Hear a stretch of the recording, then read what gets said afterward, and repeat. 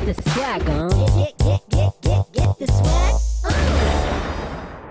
for having us. We're really excited to be back in Paris um, to, to speak with you all. And one thing that I just want to say before we get into design thinking is how important the notion of an ecosystem is. So the reason that we're here is we have a few French clients, and one of our French clients uh, that we're working with has decided to accelerate their concepts that we have developed for them with startups. So IDEO has been working with a certain client to develop different ideas, new concepts that are groundbreaking, but, but what better way to really bring them to life than to partner with startups and to show them how their emergent technologies can really take the concept to the next level. So we at IDEO are trying to work a lot more with startups and build up the ecosystem between big corporations, designers, and uh, new companies. So it's something that we really believe in is building up the ecosystem. Um, and now Blaise is going to talk a little bit more about our firm, IDEO, how we think, and um, how design thinking applies to startups. Just for the record, I'm, French but I'm not going to do it. I'm going to do it in French tonight. I'm Just going to do it in English. Is that okay? Thing though is that if you have questions, um, this is this is meant to be a dialogue. Okay, so if you have questions, raise your hand, or we can have a conversation at the end. English then. And, you may, of course, of course. Well, thanks a lot for inviting us. Um, how many of you know design thinking? okay, well, we're done then. well, I hope I'm going to be able to bring uh, some information, some additional information coming from, from Silicon Valley. As, uh, as Heidi mentioned, I think what we want to do is general intro of IDEO and then think about startups and how we work with startups. So the notion of designing business at IDEO, because let's first look at who we are as a whole. General information. IDEO generates business impact through a human-centered innovation process. Now, you're to hear tonight a lot of things about human-centered design because this is our process, but this is also the way we behave as a company. Culturally, we are a human-centered company, meaning that everybody at IDEO matters. We built our company around people. Our assets, our main assets is people. David Kelley, I wanted to create a company to work with my friends. That was 30 years ago. David Kelley, the founder of IDEO, I was like, you know what? I work for these big corporations. I'm tired of this. I just want to open a company and have fun working with friends. That was it. There's nothing else. So that's purely Silicon Valley. But what's interesting is to notice is that even 30 years later, this is still the case. We still want to work with friends. So that DNA, that very simple quote, is still very much valid right now. And it's very important because that has repercussions throughout everything we do. So over the years, we've worked on, launched more than 5,000 products, services, new businesses, spaces, and so on and so forth. This is just a, a short snapshot of this. So, and we're a global creative network. We have uh, offices, you see the black dots, that's where we are, we're global. We have about 500, 530 people. So still a, a small company, relatively speaking, compared even to your school, right? but um, 500 people globally, offices in London and, uh, and Munich in, in Europe, and then Chicago, Boston, New York, San Francisco, Palo Alto, and Asia, Boston, uh, yeah, Boston is in Asia, uh, Tokyo, uh, Singapore, Mumbai, and Shanghai.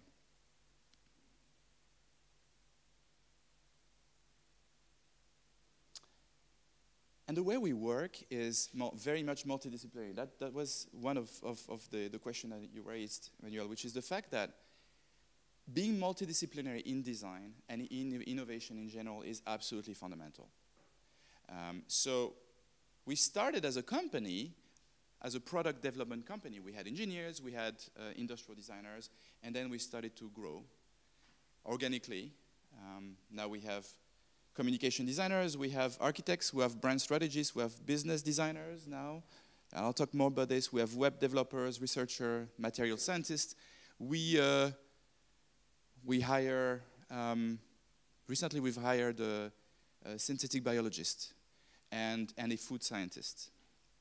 Because that's the way innovation grows. When we see a potential, when we see something interesting, we say, well, let's just hire this person, and then um, we'll see what, what will happen. So either these people come as, a, as residents to start with us, or we hire them and we create a market around that. And that's this organic nature of IDEO that makes us where we are today.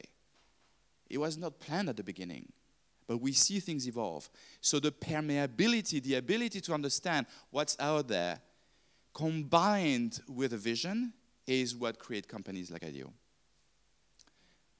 Uh, by the way, if I go too fast, you can slow me down, or I can explain things in French if that's okay with you guys. We're deeply collaborative, so that's another factor, okay?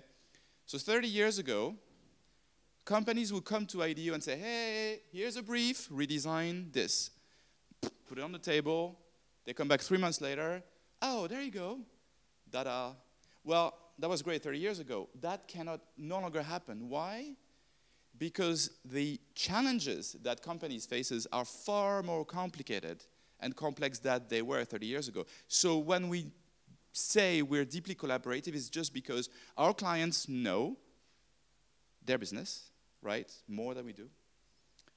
And by doing it together, we get faster results and more impact. What that means is that when we start a project, at the very beginning, the kickoff, we just collaborate. That's it. There's no formalities around this. It's like, okay, let's just get into it. Let's understand what you want of this project. Let's understand what we want and how are we going to get there? So understand who you are, understand what is your challenge, understand what is the process you want to get through to get there, and obviously what is the impact that you want to have. And oh, by the way, the roles that you want to have. So clarification at the very beginning of a project is really, really, really important with, with clients. It is not about a dance. You know, I mean, the dance is, yeah, can happen.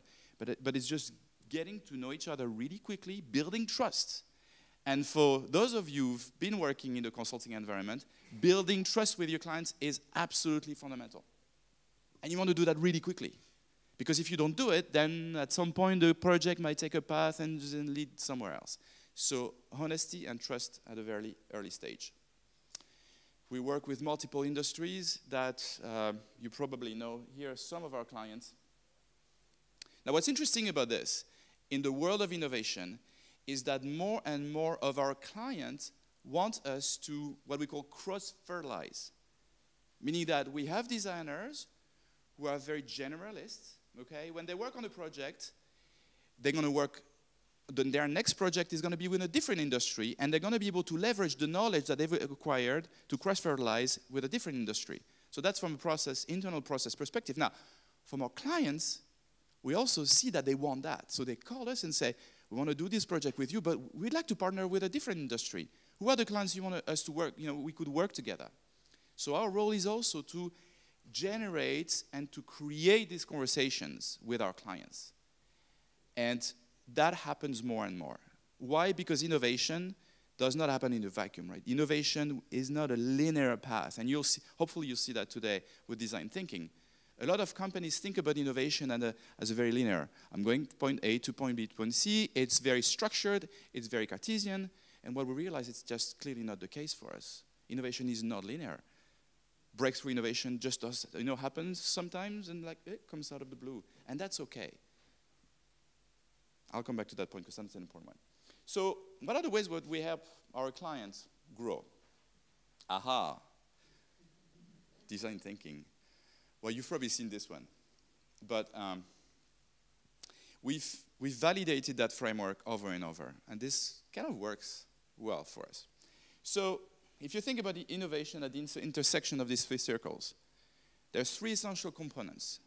People, what we call desirability, business, viability, and technical aspect. Well, the thing is, many companies in Silicon Valley and elsewhere, do what we call tech push. Tech push. They have a technology and they're going to push it to market. They're going to say, hey, that's great, you're going to love it. You know, let's do it. Well, what we advise to do is to do tech pull, meaning that you first start by understanding people's desire, needs and desire. That's where you start. And once you have that, you integrate the other facets. You integrate the technology and the business.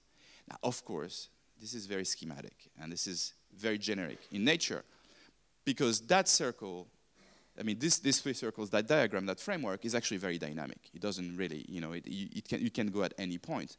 What really matters is taking all these three facets into consideration at the very beginning of the project, okay? There's so many companies who fail because they didn't take into consideration either the, what we call the human factor. The business, business and technology at some point works, right? The human being sometimes like, ah, yeah, it's gonna work, you know. So that's where we start. That's what design thinking is. Now, for you all to know is design thinking is a basic process. That's what we start. It doesn't stay in the clouds because that's not what we're about. We're about creating impact. So really what we're in the business of design making, right? And what I mean by that is that design making is starting with an idea, idea, and start prototyping really, really, really quickly. Prototyping and rapid prototyping is the fundamental key to everything we do at IDEO, right? So this is an example of a surgical tool. We were at the first meeting with the client. That was all great. We discussed opportunities, blah, blah, blah. And the client said, hey, you know, that was a, a nasal surgery tool. And he said, oh, I think I have an idea. Okay, great. It takes a few things together, assemble it, put it on the table. That's it. Well, okay, well, that's it. That's great. Well, yeah, it was it, really. Because what we did, it was the right idea. And what we did for the rest of the project was prototyping, validating, prototyping, validating, prototyping, validating. And that's the process that you see here. Very rough to market. So I'm going to come back to this very notion of prototyping because that's an important one. Many companies, when they think about innovation, again, they think about, hey, well, we have a budget for innovation, that's great, let's spend it, let's incubate it for many months, weeks, months, maybe years, very cerebral activities, and they're, they're great. Huh? They lay out the whole plan. They don't do any any uh, particular prototyping, and then, well, now finally they're ready. Yeah, we can uh, we can prototype. We can do something real scale. Well, the issue with this is that yes, they're going to invest a lot of money on the prototyping, uh, but if it doesn't work, that's a problem, because they've invested a lot of money, and now they're going to have to redo it again. So what we say, what we advocate and, and, and advise our, company, our, our clients to do is say, well, start small. Even if you're a small startup or a large company, start small with what you have right here on the table. If it's a piece of paper, start with a piece of paper. Do it. Show it to people, potential customers, users, investors, and then start refining from there. That's the process of refinement. It's like a sculpture, right? A sculpture, you never start a sculpture with the finesse, with the small details. I mean, it's a no-brainer, really, right? You start with a big picture, and then you refine, you refine, refine, refine, until you get it right.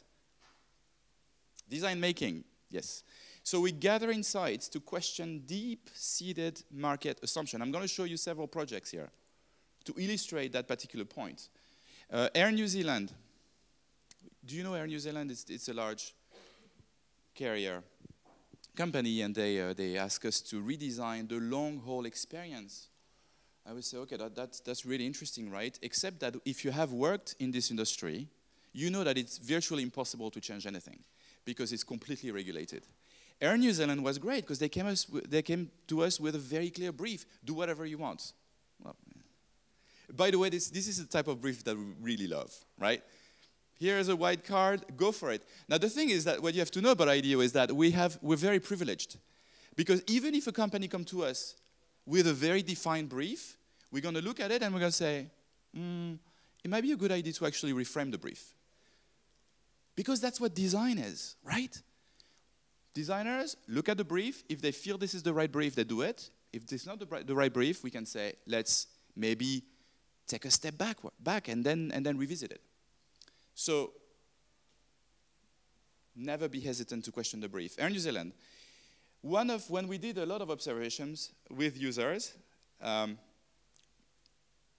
I'll, I'll get back to that later, but we observed something interesting, which is that whenever people want to travel, as soon as they enter the plane, even before, control is completely taken out of them. They're not. They're just basically they've been asked to just sit here, drink this, go to the bathroom there, and that's it, right? And that was an insight that we got over and over. So our goal for this project was to create a brand new experience for Air New Zealand with the intent of giving control back to users. So we went on and we, uh, we interviewed a lot of crew members, we interviewed a lot of users, and not only in the plane, by the way, because that's not where your journey starts. The journey starts way before, in the airport, even before that. So we went, we went up, to the chain and uh, interviewing a lot of stakeholders, and we came up with uh, two completely new and radical innovations. So I'm going to show you a video. You will see that video summarize the work that we did together. And just a bit, a bit of a caveat to that is that we didn't make the video. You'll see why we didn't make. The client did the video. So okay, so I'm just going to play this. I'll see if that works.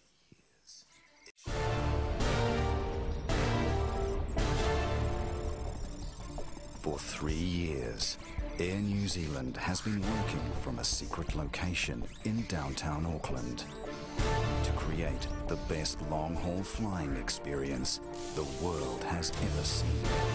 The project is sworn to secrecy, its details known by only a few, until now. We started by flying the innovations company IDEO over from the US to gather insights about the way our customers travel. What we found was that some people think of a long haul flight as a time to be social, and others would rather just keep to themselves. It had to work for everyone. We ran a series of seat boot camps to put local design talent through its paces. It's an awesome project to, uh, to kick off with, and one of those uh, real challenges that you uh, don't often get in your lifetime. Perhaps in, in simple terms, a bit like a sandpit, where you can just start from, from nothing and create whatever you want to do. Uh, no boundaries, no limits, um, and just tease out all the different concepts and ideas that everybody has. We tried some uh, things like people standing up, uh, sitting together facing each other like they're around the kitchen table at home, um, even stacking people up on top of each other in bunks. The bunk bed was one of the really interesting concepts, but it put people in a position of being totally undignified in that sort of environment. To test our thinking, we built a full-size interior section of a Boeing 777-300. Actors and staff were brought in to stage a simulation flight that put the new seats, menus, and entertainment to the test.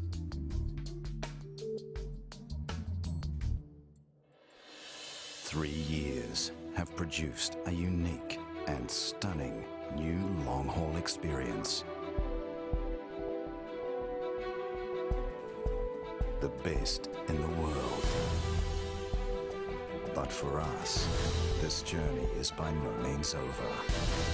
In fact, it's just begun. that gave you a, kind of the and, and we really did work like this with them which was a fantastic project so working with clients together to get this done with pleasure that's an important notion when we do design we want to do it with pleasure that's something we want to be doing because if we have fun it gets better and better okay why was it relevant because it was a disruptive category breaking better experience uh, it was co-designed with the Air New Zealand team, and the problem was solved. Control was given back to the passengers. So we, we, uh, we use the craft of design to stir the soul of your brand. Western Digital.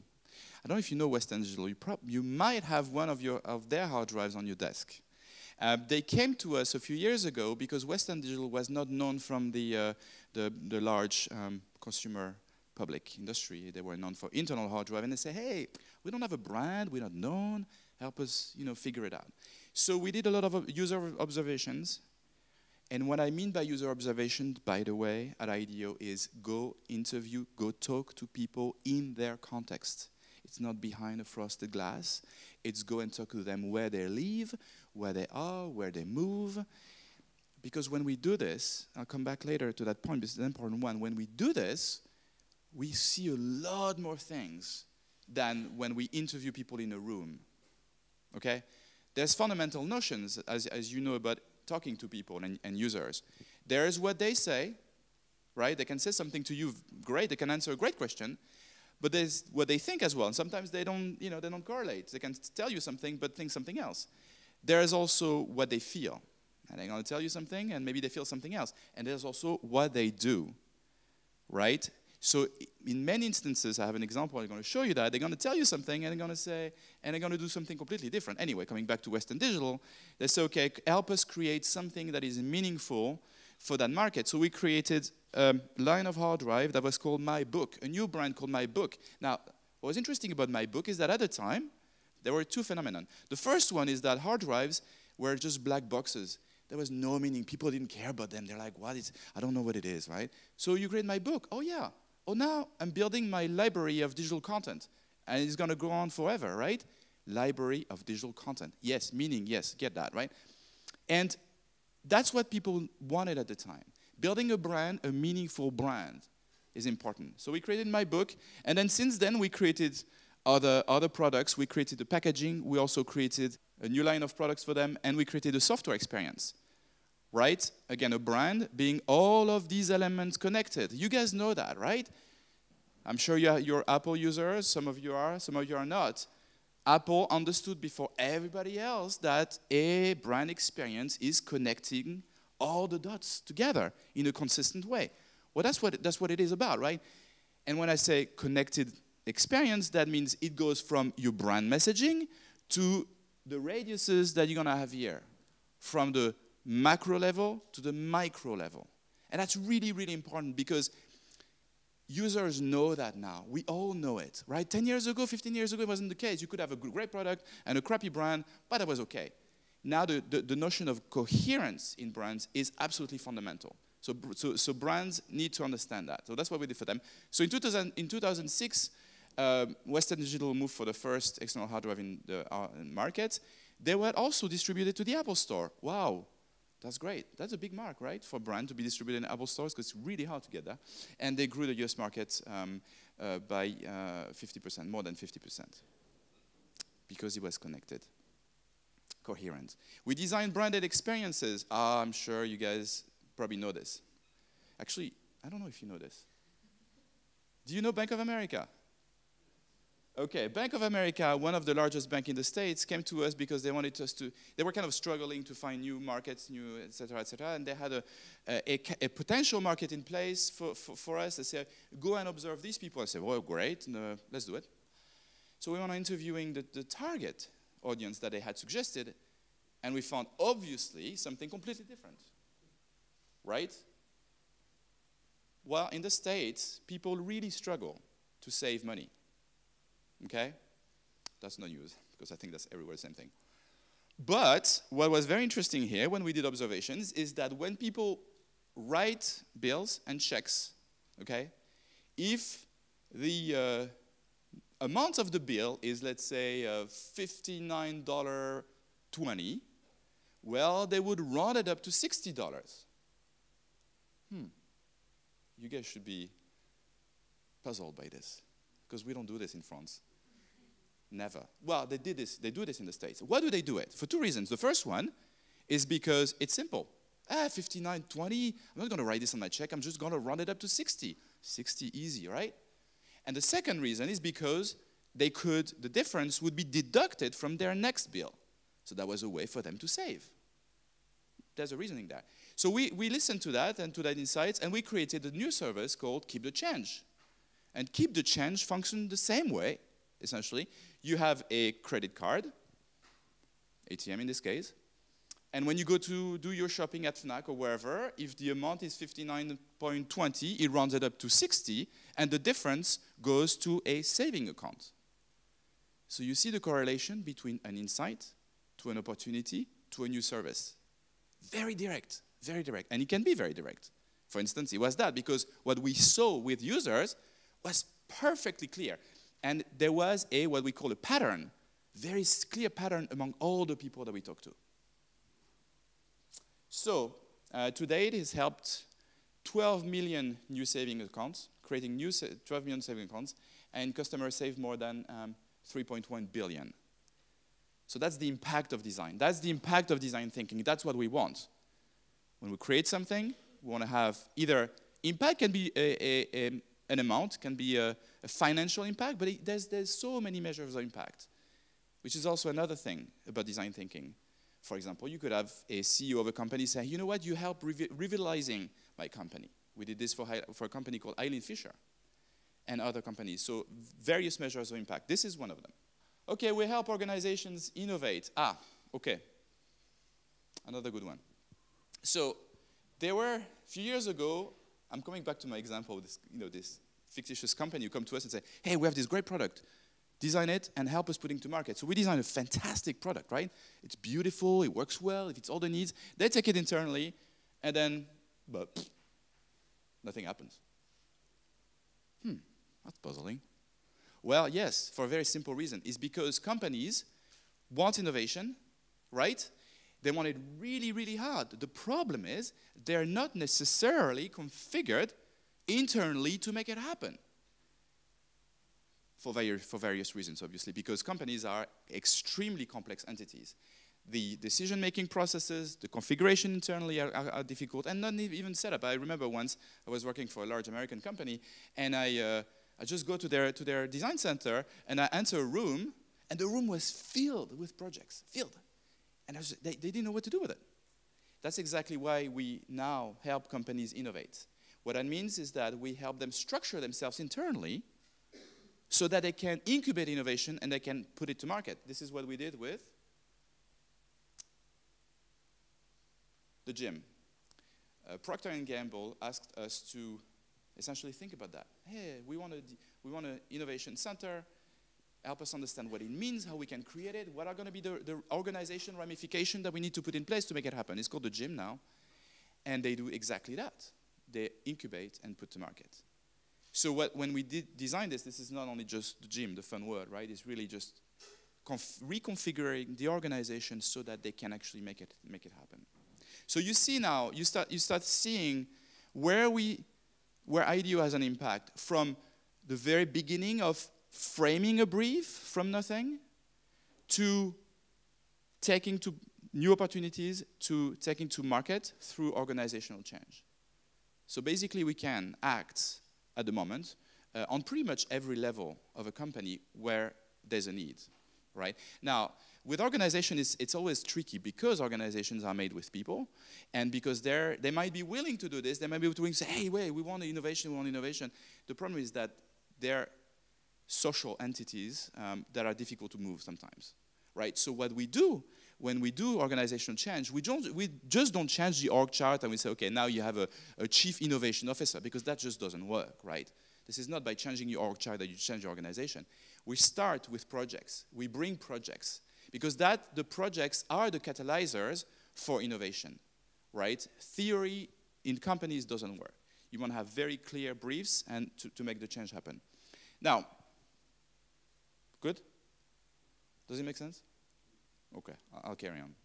I'm almost done, actually, I think. We can have a conversation now. For Fortune 500 to startups. So, uh, you saw Procter & Gamble, a lot of people, huge budgets. But, but at IDEO, we love working with startups. Why? Just because it's, there's aspects of startup that are, at the moment, in Silicon Valley, but I would say elsewhere in the world, right? Uh, the nimbleness, the desire to go to market really quickly. Culture, the emerging culture that is really interesting for us.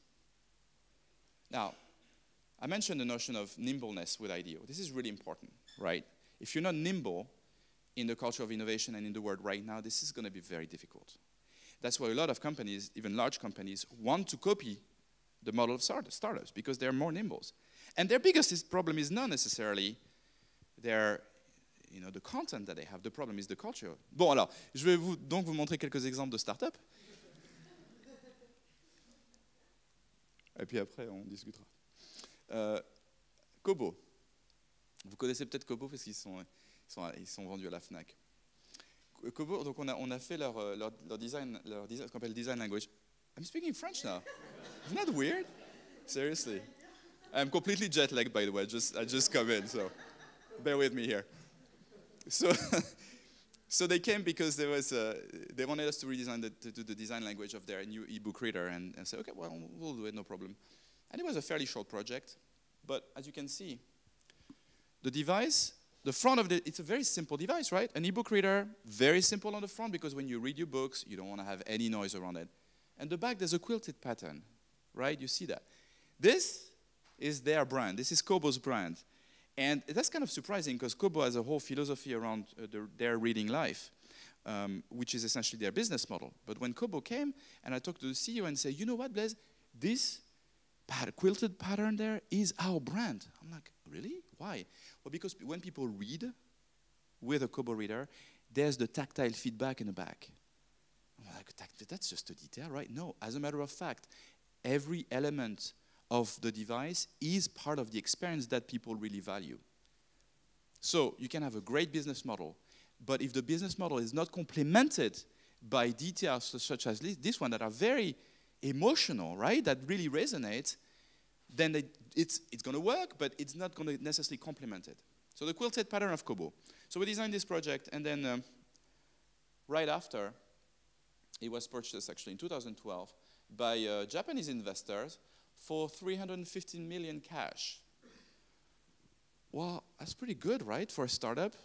Just getting, you know, bought out by uh, Japanese investors, and of course they got we got a, several awards. But I think this is this is the beauty of, again, nimbleness, working with understanding the functional and emotional aspect of an offering.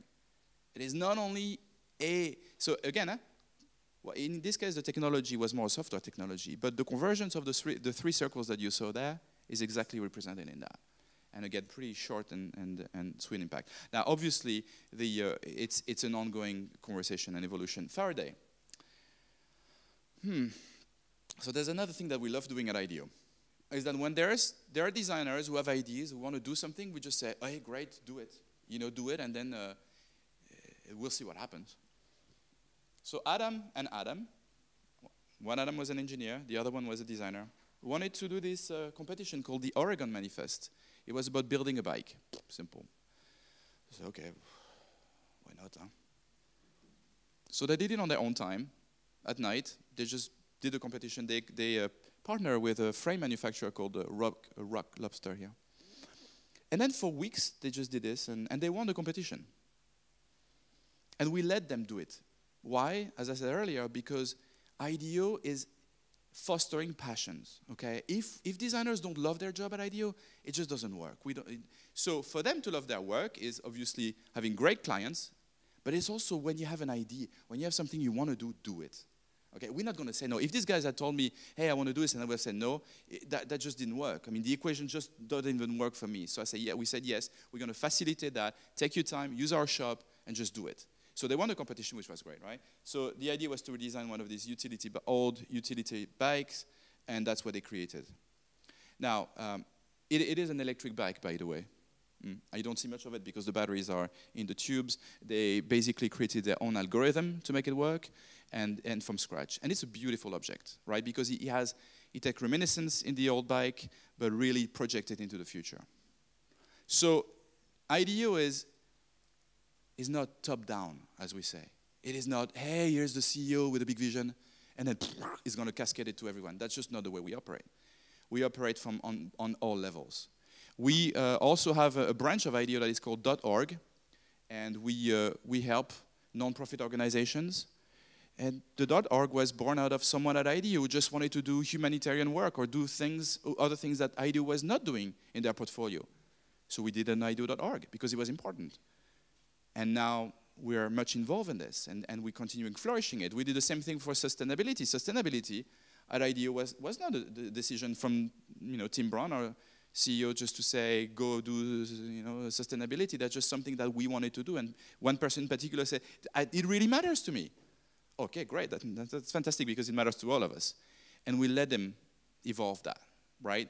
So the notion of understanding that a company, whether it's a large company or, or startups, a company like IDEO, it's, it's this transversality that happens, it's this migration that happens, where we leave, my role is to leave space for opportunities to happen, for people to express themselves. That's really important. Leadership at IDEO is not just to say, I'm the leader, I'm going to tell you what to do. It's just to let, it's like a garden, you let flourish let all these flowers to grow. And sometimes, you know, sometimes some, some grows and sometimes they don't. But that's, that always happens. That's the, the risk taking. So um, Lars Hinrichs. Hack Forward. Do you guys know Hack Forward, actually? I'm curious. You know, okay. So Lars came to us because he had this, this, this notion. I mean, obviously, he's eh, you know, the founder of Xing, of Xing, so you probably know him. But um, he wanted to create a, a tech incubator in Germany. Actually, that would apply to all Europe. And he came to us for that. He said, hey, help us. I don't have much, really. I just have an idea. Said, okay, well, we're going to help you. So we designed basically the whole, the whole structure for, for this incubator. And it was really geared towards the aspect, uh, the geek aspect, right? So, so people, uh, technologists, young entrepreneurs who just want to do technology. That's all they want to do, but they have a great idea. And right now in Europe, there's not really a, a, ground for that, right? If you have a great idea and you want to go, you want to build your company, this is, I mean, you guys know better than anyone else, that landscape. So what we did is helping him kind of formulate what the offering would be for this incubator. And there were a few grand, ground principles. First of, first of all, is we've, what we've noticed. So we went through the innovation process, and what we've noticed is that, um, it, you know, if I love technology, sometimes I just want to do technology and help me do what I do best. Why do I need to learn all this business stuff right now in super depth when right now I just need to focus on that? So what we did is we helped these geeks to focus on the ID while we, are, we were having, we were building a company of serial entrepreneurs, right, who were helping them. So that's where Hack Forward was born out of. And I'm going to show you a short video. And also the curriculum, the engagement process. Now, if you want to get VC funding or whatever, this is a complete nightmare. It's just, it's super difficult. You have to go through runs and runs and runs. And what we did here is that to adhere to that, to build your business plan, we want to simplify everything. So the no one of the notions that we had developed there was the notion of complete transparency. Be transparent to everything you're going to do there. And that's something that we see actually happening more and more with companies. So let me show you that video. I'll give you a better understanding of what Hack Forward is about. That'd be great. Cool stuff. Pushing what's possible. Breaking new ground. Imagining the future. Maybe you work a day job in Paris, but spend your nights coding a pet project. Come to us through our referrer network with a clickable idea, and perhaps even the co-founder or two who helped you build it. Forget PowerPoint and pie charts. We'd rather understand why you believe the world needs it. If we agree your product shows potential, even if there's plenty yet to resolve, we'll roughly match your current salary for one year so you can spend that time focused entirely on making it something great. And it doesn't matter where you're based in Europe. At most, you're two hours away by plane or seconds away by email. Hmm? Make sense? should go, just check it out, hack forward. Okay, so this shows you the kind of the, the, the, the diversity of startup we, we work with, right? Hardware startups, software startups, and now we are even working with a company called Flextronics, um, which you probably know they produce a lot of things, and we do hardware, software for them. We helped you know companies and startup incubate. Okay, so I think for startups the challenge, one of the challenges, is bringing all this perspective together, right? So I'm, i have a few few things that I want to walk you through, with especially with regard to startup. Now, what we love to advocate for startups is this notion of design-driven strategy, right? Is and this this is going to sound familiar because that's what we talked about before. Is that when you when you think about the projection of your company, think about how you're going to build it, but think about how you're going to integrate, as you see here, this notion of you know thinking, building, thinking, building, thinking, building these waves. Don't just think about thinking. And again, I mean, many of you already know that, right? This is, this is not rocket science, but just understanding that strategy, a design-driven strategy implies in its construct the build part. Be curious. Ah, yes, that's another part. I was talking to you earlier about this uh, understanding how people the art of human factor, observing people. So be curious is really important, right? Because if you want to go in different parts, this is a short video of a person that we interviewed in the context of a beauty project.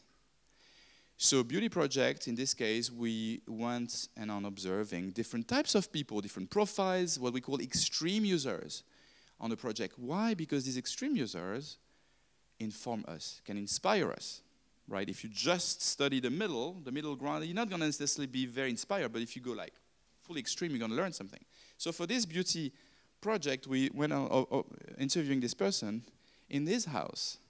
So we start talking to the person and says, so uh, uh, what do you think about beauty products? Ah, I'm a simple type of guy. I don't use anything. Nah, you know, basics, nothing. And then the, uh, the person who was interviewing just sees something next to the sofa, and it's this uh, massage, foot massage device. So she asked him, "What is this thing here?" Oh well, you know, it's it's you know, occasionally I like to do you know, take care of my feet and you know, a little foot massage. Well, yeah, of course. Now, here's the thing: if we hadn't posed that question about these little treatments that he liked to have, right, we would have stu- been stuck on this. I don't know, I'm a simple type of guy, I don't use it. We wouldn't have gotten anything out of this interview. What's great here is that the observer, the person who was asking the question, was able to just see what was next to it and use that device as a probe for conversation. Therefore, getting really, really rich around the content. So that's why the notion of being curious is exactly that, right? When you observe people in their context, try to see outside of what's in front of you. Look around, right? There might be something that you'll discover that will that will use as a prompt for conversation. And it happens all the time. When I say this is the art observation, it's really it really is an art. So we have at IDEO we have what we call human factors. These are people who are either a sociologist, ethnologist, psychologist, but everybody is able should have the basics of understanding how people observe, right? And so that's something I- I would encourage every, everyone in this room to observe and continuously be curious. Curious doesn't belong to kids. Curiosity doesn't belong to kids. Curiosity belongs to everyone, right? To, to every designer, every engineer, every entrepreneur, because that's part of the way we do things. Uh, meaning through principles. Again, now I'm going to show you another short clip. At IDEO, we, we go, we observe people, and then we come back in our room, and then we have to establish a foundation because I don't know if you know, but we have tons of post, post-its. Post-its is kind of our, we have a, a philosophy, a post-itology philosophy. I'm not going to give you a lesson tonight, but that's, we, clearly have a, uh, something about post-its, an addiction to post-its, I would say. But when we come from observation, there's tons of insights, and it's about making sense of this. And this making sense of it is part of our process and establishing what we call design principles and frameworks, which is kind of the more abstract part of things, but that's, that's, uh, that, that's part of the process. So it's called the synthesis process. And that happens like this. This is three days. The team basically took a camera, put it in their project space, and uh, they were basically synthesizing all the information that they got, all the interviews, all the pictures, all the quotes. They put it on the wall, and then you see that there's the core team member who lives together for the duration of the project, and there are other people who gravitate towards when when needed. So it's pretty intense. And that synthesis process can happen from three days to two weeks to three weeks. It really depends how vast the uh, research is. But what you see here is that post-its actually enable you to be super, super nimble. Again, nimble and fast. See, they change constantly. They adapt. They do. They create new opportunities. They synthesize. They bring it again and again. I mean, we get pretty dizzy afterwards. so I'll just stop it after a minute. But I'll give you kind of give you a sense of this notion of postitology. Okay, start early and wrong. I mentioned that. Fail. Fail early. Now, I know it's something very difficult in France. The notion of failure. We don't want to fail, right? Don't, don't even mention it. Well, yes, do it now. Tomorrow start and start failing. Uh, of course, uh, you want to succeed. But the idea of failing early is to succeed later. And I was telling you that's what prototyping is. But that's also that's a, that's a process, but that's also a mentality. In particularly, I think in Silicon Valley, what I've always found interesting is that people just don't hesitate. They're going to take risks. They're going to fall. They're going to get back again, and that's okay. That's part of the culture. There's nothing wrong with it. You're not going to have a name attached to your head if you fail. As a matter of fact, that's part of building your curriculum. Oh, you know, I have many friends who failed like three, four startups, That's okay. You know, they've built experience, and now they're going to do another one. That's the spirit of entrepreneurship that is really, really interesting. And I know it's, it's we, we know it starts happening in France, which is great, thanks to you guys, right? Um, but it's a, it's, it's a mental change. It is something that says it's okay to fail. And you know what? If we fail earlier, that's what I was telling you earlier, right? Of course, if you fail after millions of you know dollars or euros, yeah, that's a pretty steep uh, you know curve. But but if you failed because you, you did a, a, a paper mock-up, that's okay, right? There's not too much pressure. So failing means start an earlier, prototype earlier, and then so that you have less, less pressure. Because ultimately, there's another really important factor in design thinking: pressure pressure. Lots of companies have pressure. Well, what we do in everything that you've seen is relieving that pressure. Right? Of course, it's inevitable. You're always going to have pressure. But if you do it in a way that's engaging, that's enthusiastic, that you bring the right people in, that with the right process, it's a lot easier. Okay? Uh, exploring options. I'm going to pass, you know, quickly on this one, but uh, again, uh, it's very when you start when you have a startup usually you have an idea you have a vision right? And that vision it's great you want to carry it through right? From beginning to end. Unfortunately while the market changes condition changes maybe six months later another product will come that exactly the same that you had. So you have to be able to kind of shift gears and listen and change and reorient your vision as the market evolves, or as your offering evolves or other, other conditions evolve and again, that's easy to say, right? Yeah, okay, I know I need to need more. Well, the fact is that more and more, this is a requirement because volatility of the market and market changes happen more and more. Uh, not only that, but you see uh, startups who want to go to market quicker, but also big, large companies want to get to market more quicker. So that, that landscape is completely changing. So, so exploring options and constantly gathering feedback, right? Feedback. Okay, I have an idea, share idea. I have friends, they just come and bring, bring ideas and say, okay, look at this. Oh, okay, look at this. That's crap, right? But the fact is that feedback is part of the process as well. Don't be afraid of just exposing people of your idea. Because a lot of people say, oh, that's my idea. I'm not going to tell to anyone about this. This is my idea. Well, that's not exactly the case anymore. Your idea, you know what? Someone else had it. And someone else had it as well. So that's why this process, also mentalities are exchanging on that level sharing, getting feedback, sharing, it's only going to get better. You're not going to lose your IP, you're not going to lose your integrity, you're not going to lose anything. Open up. And that's what, for, uh, as, as Heidi was mentioning, we have more and more clients who actually want to get that. Uh, shift focus, I mentioned that. Uh, this is related to, the, to, to this aspect of, okay, now you're going really, really, really, really deep on one aspect of the startup, of the, of the project. Zoom out really quickly. Look at the big picture zooming in, zooming out, zooming in, zooming out. Systemic, that's a completely systemic approach. That's also behavior, right? I'm here, now I'm just zooming out to see the big picture. And collaboration, we, uh, we mentioned that, so I'm not going to dwell too much on this one. Prototyping in context, right? So we have this notion that we call sacrificial concepts. I really don't like the word sacrificial concept, but it can work. So sometimes we start a project and we create a bunch of things, a bunch of concepts, whether it's software, hardware, right? And we show it to people at an early stage. Um, that's one way, what we call sacrificial, because people can say, boo, that's really bad. You know, do it again. And that's okay. I think that's part of it. Again, in design, there is no ego. I have my design, I can trash it the next minute, it's okay, because it's going to evolve no matter what. That's, again, this very notion of attachment, not being attached to an idea at any given time, because your idea is going to change. Oh, this is a good one. Um, prototyping interaction. We created. A, we have a we have a, a studio at IDEO. It's called the Toy Lab. What they do all day long, they invent toys. Uh, it's great. So they came up with this app uh, for Sesame Street, Elmo's Monster Maker. So they prototyped, and very rough, really, really rough. Look, look at this.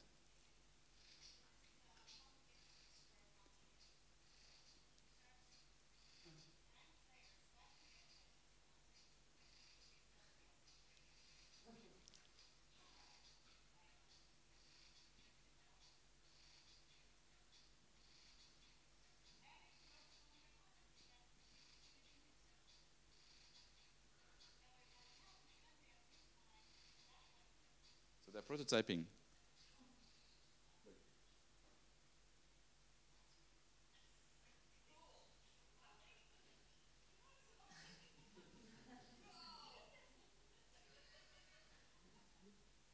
that was it, right? Rough prototyping, but it worked. It's easy. Just cut a piece of paper and start playing this thing. Don't need to code hundreds of lines. Just try. Try short interactions and, and see what happens. Um, hybrid, really quickly, we, I was talking about observe several types of, of, uh, of observations. There's what we call qualitative and there's the quantitative observations. And for a very long time at IDEO, we were mostly on the qualitative side, and now I think we're integrating more the, qu- the quantitative. So alternating and knowing when to alternate quantitative and qualitative is also really important. And building your network. That's a, big one because and that's where that's why we're all here, I guess, because you want to start building a network, and that's something that I, is really great in Silicon Valley, particularly because the, the network is is huge. But remember that quote that I gave about David Kelley wanting to work with his friends?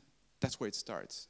Building a network of people who are going to help you grow, right? Whether they're mentors, or whether they're friends, or whether they're whoever, colleagues. That the, the, the power of, the, of a network is just so strong that again we don't want to think in isolation anymore. This is completely that model is completely obsolete. So so thinking about building a network constantly is important. And then finally i'm just going to leave it that be optimistic. Um, at IDEO we love to play and that's one of the project that's one of the concept projects uh, that we did how to entertain a cat. Um, that's part of it right? Be optimistic. But again right that, that that's key because we go when, when we do innovation it goes it's great and then sometimes oh it's really terrible and it's growing. But having that quality is really really fundamental being optimistic and keeping that right? Um, and don't take yourself too seriously. That's very that's very very true at least uh, for us. I don't know if if, if it's the uh, and I'm, I'm, i think in silicon valley as well. Most importantly have fun because that's what innovation is. If it's if it's painful it's not worth it know, we might as well have fun with innovation. So wrapping up, always have a solid business model hypothesis. We talked about this. Encourage empathy and test your assumptions. We talked about that. Prototyping as early as possible. Keep it simple. Don't build an entire fortress. Um, start with a, one brick or a stool. Uh, surround yourself with great people and be optimistic. Okay. Now we're going to be able to talk. I'm done. I think I'm done.